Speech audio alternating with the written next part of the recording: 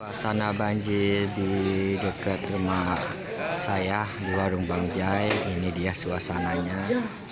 Airnya sudah mulai masuk di depan rumah saya. Ini dia.